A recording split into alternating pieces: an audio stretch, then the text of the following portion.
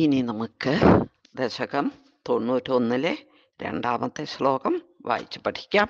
ആദ്യ ശ്ലോകം വായിക്കാം.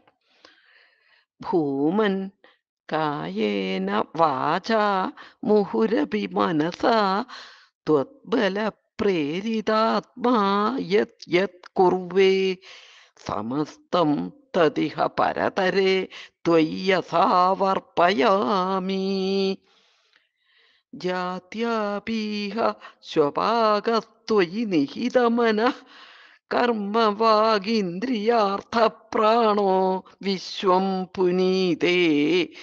നതു വിമുഖമനാസ്ത്വത്പദാത് വിപ്രവര്യ.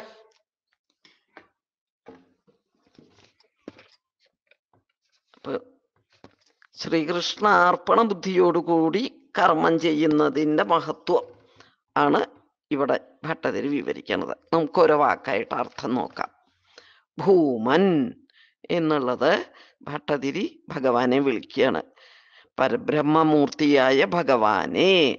ഓ സുപ്രീം ബീയിങ് എന്നൊക്കെയാണ് അർത്ഥം. ഭൂമൻ വിളിച്ചിട്ട് പിന്നെ പറയാണ് കായേന വാചാ മുഹുരപി മനസ എന്നുണ്ട്. കായേന കായം എന്ന് പറഞ്ഞ ശരീരം.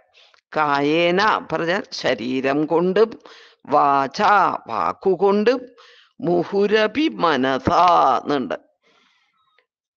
മനസാ അഭി കായേന വാച മനസാ അഭി ശരീരം കൊണ്ടും വാക്കുകൊണ്ടും മനസ്സുകൊണ്ടും മുഹു പറഞ്ഞാൽ വീണ്ടും വീണ്ടും ത്വത്ബല പ്രേരിതാത്മാ അത് ഭട്ടതിരി ഭഗവാനോട് പറയണ ത്വത് ബലം നിന്തിരുവടിയുടെ ബലം കൊണ്ട് പ്രേരിതമായ ആത്മാവോട് കൂടിയവനായിട്ട്.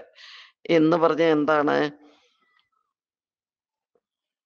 നിന്തിരുവടിയുടെ ശക്തിയാകുന്ന ആ വാസന ഉള്ളിൽ ഇരുന്ന് പ്രേരിപ്പിക്കത് കാരണം. അതായത് ഓരോരുത്തർക്കും ഓരോ പ്രവൃത്തി ചെയ്യാൻ തോന്നണതിനുള്ള ആ വാസന ആ സ്വഭാവം ഭഗവാന്റെ ആ ശക്തി കൊണ്ട് തന്നെയാണ് അതിനുള്ള പ്രേരണ കിട്ടുന്നത്. അതാണ്. അപ്പൊ അങ്ങയുടെ ബലം കൊണ്ട് പ്രേരിപ്പിക്കപ്പെട്ടിട്ടുള്ള ആത്മാവോട് കൂടിയിട്ട് യത് യത് കുർവേ. യത് യദ്യത് എന്നുണ്ട് അത് രണ്ട് വാക്കാണ്. യത് യത് കുർവേ. എന്തൊക്കെ എന്തൊക്കെ ഞാൻ ചെയ്യുന്നുവോ? സമസ്തം തതിഹ പരതരേ ത്വയ്യസാവർപ്പയാമി എന്നുണ്ട് സമസ്തം. തത്. തത് സമസ്തം. പറഞ്ഞ അതെല്ലാം എന്നാണ് തത് സമസ്തം ഇഹ പറഞ്ഞ ഇവിടെ. പരതരേ ത്വയി അസൗ അർപ്പയാമി. മൂന്ന് വാക്ക് കൂടിയിട്ടാണ്. അർപ്പയാമി. പരതരേ ത്വയി പറഞ്ഞാൽ പരമാത്മാവായ നിന്തിരുവടിയിൽ ത്വയി അസൗ അർപ്പയാമി. അസൗ പറഞ്ഞ ശരിക്ക് ഇവൻ. അതായത് മേൽപ്പത്തൂര് അവരോരെ തന്നെയാണ് പറയണത്. അസൗ അർപ്പയാമി. ഇവൻ ഇതാ സമർപ്പിച്ചു കൊള്ളുന്നു എന്നാണ്. അതായത് ഇതുവരെ എന്താണ് ആദ്യത്തെ രണ്ടു വരിയിൽ പറഞ്ഞത്?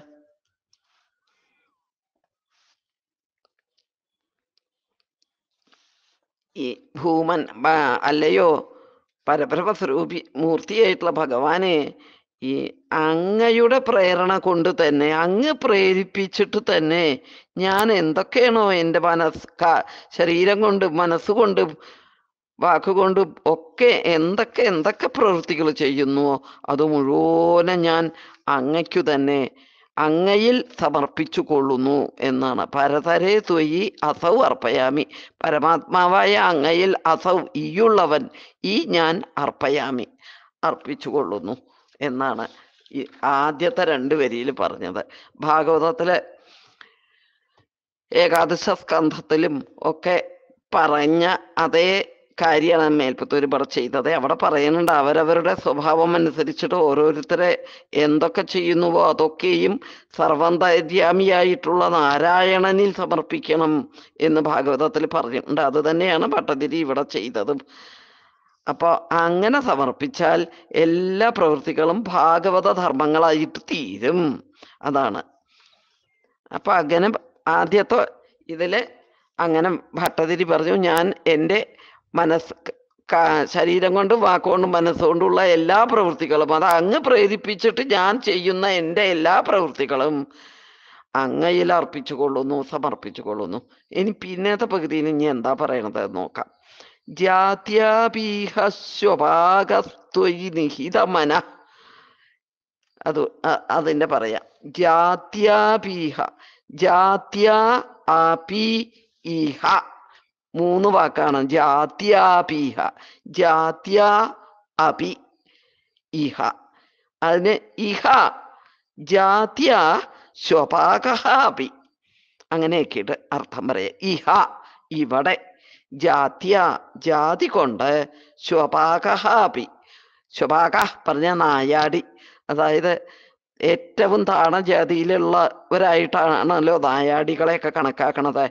അപ്പോൾ ഇവിടെ ജാത്യ ജാതിയാൽ സ്വപാകഹാപി ഒരു നായാടിയാണെങ്കിൽ കൂടി. ത്വയി നിഹിത മനഃകർമ്മവാഗീന്ദ്രിയാർത്ഥ പ്രാണോ എന്നാണ്. ഒരു നായാടിയായ ആയിട്ട് ജനിച്ചാൽ കൂടി. ത്വയി നിഹിത പറഞ്ഞാൽ അങ്ങയിൽ സമർപ്പിക്കപ്പെട്ട മന കർമ്മ വാഗ് ഇന്ദ്രിയാർത്ഥ പ്രാണ നായാടിയാണെങ്കിൽ കൂടി ആ ഭഗവാനിൽ ത്വയ്നിഹിത നിന്തിരുവടിയിൽ സമർപ്പിക്കപ്പെട്ട മന മനസ്സും കർമ്മ പ്രവൃത്തികളും വാഗ് വാക്കുകളും ഇന്ദ്രിയ അർത്ഥ. ഇന്ദ്രിയാർത്ഥ പറഞ്ഞ ഇന്ദ്രിയങ്ങളും ഇന്ദ്രിയാർത്ഥങ്ങളും. ഇന്ദ്രി ഇന്ദ്രിയാർത്ഥം പറഞ്ഞ രൂപം രസം അതൊക്കെയാണ്. അതായത് sense organs and sense objects ഇതെല്ലാം. പിന്നെ പ്രാണ പ്രാണനും. ഇതെല്ലാം. മനസ്സ് കർമ്മം മനസ്സ് പ്രവൃത്തികൾ. മനഃ കർമ്മ വാഗ് വാക്കുകൾ ഇന്ദ്രിയാർത്ഥം സെൻസ് ആൻഡ് സെൻസ് ഓബ്ജക്ട്സ് പിന്നെ പ്രാണ പ്രാണനും. ഇതൊക്കെ അങ്ങയിൽ നിഹിതം സമർപ്പിക്കപ്പെട്ടിട്ടാണെങ്കിൽ വിശ്വം പുനീതേ നായാടിയാണെങ്കിൽ കൂടിയും അങ്ങനെയുള്ള ആ നായാടിയും വിശ്വം പുനീതേ ഈ വിശ്വത്തെ പ്രപഞ്ചത്തെ ആകെ പരിപാവനമാക്കി തീർക്കുന്നു പരിശുദ്ധമാക്കി തീർക്കുന്നു എന്നാണ് വിശ്വം പുനീതേ എന്ന് പറഞ്ഞാൽ സാങ്ക്ടിഫൈസ് ദ ഹോൾ യൂണിവേഴ്സ് എന്നാണ്. വിശ്വം പുനീതേ. നതു വിമുഖമനാ ത്വത്പദാത് വിപ്രവര്യ. അതിനെ വേണ്ട പോലെ ആക്കിയിട്ട് പറയുകയാണെങ്കിൽ ത്വത്പദാത് വിമുഖമനാഹ വിപ്രവര്യഹാത്തു ന അങ്ങനെയാണ് പറയേണ്ടത്. ത്വത്പദാത് വിമുഖമനാഹ മേൽ പറയാണ് ത്വത് പദാത്. ത്വത് അങ്ങയുടെ തൃപ്പാദത്തിനോട് വിമുഖ മനാഹ വൈമുഖ്യമുള്ള മനസ്സോട് കൂടിയ. എന്ന് പറഞ്ഞാൽ whose mind is turned away from thy feet അതായത് ഭക്തി ഇല്ലാത്ത എന്നാണ് ചുരുക്കത്തിലെ അർത്ഥം. ത്വത്പദാത് വിമുഖമനാഹ പറഞ്ഞാൽ ഭഗവാനോട് വിമുഖമായ ഭഗവാനോട് ഒട്ടും താല്പര്യമില്ലാത്ത മനസ്സോട് കൂടിയ ഭക്തി ഇല്ലാത്തവൻ ആണെങ്കിൽ വിപ്രവര്യഹാത്തു നാ. വിപ്രവര്യൻ വിപ്രൻ പറഞ്ഞ ബ്രാഹ്മണൻ വര്യൻ പറഞ്ഞ ശ്രേഷ്ഠൻ. ബ്രാഹ്മണ ശ്രേഷ്ഠനാണെങ്കിൽ കൂടി ഭഗവാനോട് വൈമുഖ്യമുള്ള മനസ്സാണെങ്കിൽ ഭക്തി ഇല്ലാത്തവനാണെങ്കിൽ ആകട്ടെ തു ന. അങ്ങനെ ചെയ്യുന്നില്ല എന്ന് പറഞ്ഞാൽ ഈ ലോകത്തിനെ ഒരു വിപ്രവര്യനാണെങ്കിലും ഭക്തിയില്ലെങ്കിൽ അങ്ങനെയുള്ള വിപ്രവര്യൻ ഈ ലോകത്തെ ശുദ്ധീകരിക്കുന്നില്ല. ഒരു നായാടിയാണെങ്കിലും നല്ല ഭക്തിയുള്ളവനാണെങ്കിൽ ഈ ലോകത്തെ ആകെ പരിശുദ്ധമാക്കുന്നു എന്നാണ് ഇതുകൊണ്ട് അർത്ഥം. അതായത് ജനിച്ച വംശമല്ല ചെയ്യുന്ന പ്രവൃത്തിയാണ് മനുഷ്യനെ നന്നാക്കുന്നതും ചീത്തയാക്കുന്നതും എന്നാണ് ഇതിന്റെ തത്വം പറയണത്. ഭക്തി ഏതു കർമ്മത്തെയും പരിശുദ്ധമാക്കും. നായാടിയായിട്ട് ജനിച്ചാലും തന്റെ മനസ്സും വാക്കും പ്രവൃത്തികളും എല്ലാം ഭഗവാനിൽ സമർപ്പിച്ചിട്ടുണ്ടെങ്കിൽ അവൻ ഈ ലോകത്തെ തന്നെ പരിപാവനമാക്കി തീർക്കുന്നു. ബ്രാഹ്മണനായിട്ട് ജനിച്ചാലും കൂടി ഭഗവാനോട് വൈമുഖ്യമുള്ള ഒരു ബ്രാഹ്മണനാണെങ്കിൽ അങ്ങനെ ചെയ്യാൻ പറ്റില്ല. ഈ ലോകത്തെ പരിപാവനമാക്കി തീർക്കാൻ പറ്റില്ല. ചെയ്യും അങ്ങനെ ചെയ്യുന്നില്ല. എന്നാണ് ഈ രണ്ടാമത്തെ പകുതിയിൽ പറഞ്ഞത്. അപ്പോൾ നമുക്ക് വേഗ അന്വയമായിട്ട് പറയുകയാണെങ്കിൽ ഭൂമൻ പരബ്രഹ്മമൂർത്തിയായ ഭഗവാനെ ത്വത്ബല പ്രേരിതാത്മാ നിന്തിരുവടിയുടെ ബലം കൊണ്ട് പ്രേരിപ്പിക്കപ്പെട്ട മനസ്സോടു കൂടിയ അങ്ങ് ഉള്ളിൽ വാസനയായി ഇരുന്ന് പ്രേരിപ്പിച്ചിട്ട് കായേന വാച മനസ അവി ശരീരം കൊണ്ടും വാക്കുകൊണ്ടും മനസ്സുകൊണ്ടും മുഹു വീണ്ടും വീണ്ടും യത് യത് കുറുവേ ഞാൻ എന്തൊക്കെ എന്തൊക്കെ പ്രവൃത്തികൾ ചെയ്യുന്നുവോ തത് സമസ്തം അത് മുഴുവനും ഇഹ ഇവിടെ പരതരേ ത്വയി. പരബ്രഹ്മമൂർത്തിയായ നിന്തിരുവടിയിൽ അസൗ അർപ്പയാമി ഈയുള്ളവൻ സമർപ്പിച്ചു കൊള്ളുന്നു ഇഹ ഇവിടെ ജാത്യ സ്വപാക അഭി ജാതി കൊണ്ട് ഒരു നായാടിയാണെങ്കിലും ത്വയി. നിന്തിരുവടിയിൽ നിഹിത സമർപ്പിച്ച മന കർമ്മ വാഗ് ഇന്ദ്രിയാർത്ഥ പ്രാണഹ നിന്തിരുവടിയിൽ സമർപ്പിച്ച മനസ്സും പ്രവൃത്തിയും വാക്കുകളും ഇന്ദ്രിയങ്ങളും ഇന്ദ്രിയാർത്ഥങ്ങളും പ്രാണനും ഒക്കെ ഉള്ളവനാണെങ്കിൽ വിശ്വം പുനീതേ ഈ ലോകത്തെ ആകെ പരിപാവനമാക്കി തീർക്കുന്നു. തുത്പദാത് വിമുഖമനാഹ. നിന്തിരുവടിയുടെ തൃക്കാലിനോട് വൈമുഖ്യമുള്ളവനാകട്ടെ വിപ്രവര്യഹാത്തു ഒരു ബ്രാഹ്മണ ശ്രേഷ്ഠനായാൽ കൂടി നാ അങ്ങനെ ചെയ്യുന്നില്ല ന പുനീതേ ഈ ലോകത്തെ പരിപാവനമാക്കി തീർക്കുന്നില്ല എന്നാണ് ഈ ശ്ലോകത്തിന്റെ അർത്ഥം. നമുക്ക് ശ്ലോകം ഒന്നും കൂടി വായിക്കാം. ഭൂമൻ കായേന വാചാ മുഹുരപി മനസാ ത്വദ്ബല പ്രേരിതാത്മാ. യത് യത് കുറുവേ സമസ്തം.